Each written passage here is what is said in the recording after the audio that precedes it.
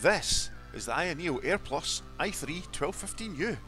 Originally pitched as a low-cost gaming handheld, not specifically for AAA titles, but more as an affordable way into AYANEO handheld PC ownership.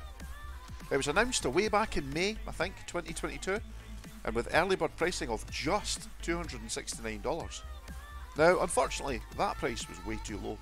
Sometimes when you see a price that's too good to be true, it usually is. AYANEO, true to their word, did indeed release a small batch of 100 of these devices at their early bird Kickstarter price. And I was one of those lucky enough to snap one of these up in the 3 minutes it took for the Kickstarter to sell out. Yes, it's been suggested online that it took just 3 minutes to sell out every one of those incredible early bird discounted units. Now, I don't know what the retail price of the AYANEO is in its native country, but in China I believe the device has been selling quite well. That suggests to me that it's still being sold at a pretty affordable price. It's totally dead in the water, however, for the rest of the world, as the regular discounted price is $600, making this budget handheld more expensive than a Steam Deck, which completely destroys the i3 in performance. So why should you buy one? Well, frankly, you shouldn't.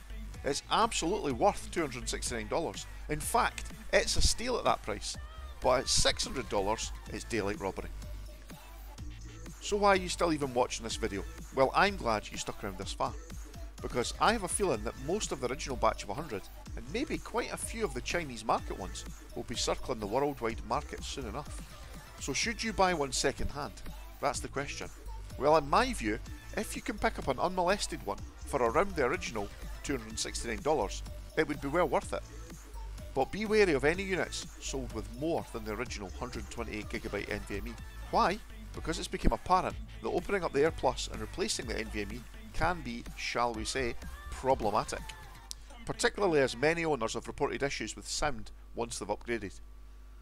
The reported failure rate of sound is particularly high on the 6800U model and less likely on the 1215U model, but it's not impossible. This may be because the sample size is so much smaller for the 1215U. So what's the 1215U like to game on? It's actually pretty good if you temper what to expect.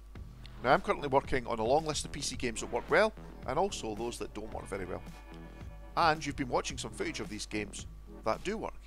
More impressively is BeamNG Drive, which runs surprisingly well. Now a separate video on that will land, hopefully over the weekend. Prepare to be impressed. I hope watching this video has encouraged you to keep an eye open for snapping up one of these units for yourself. Stay tuned for more videos on i3 powered Air Plus. I'll be comparing and rating against other handhelds in a future video and I'll also be carrying out thorough testing in emulated games. And if there's anything you'd like to see tested, drop me a comment in the comment section below. Thanks for watching, and I'll catch you in the next video. Bye for now.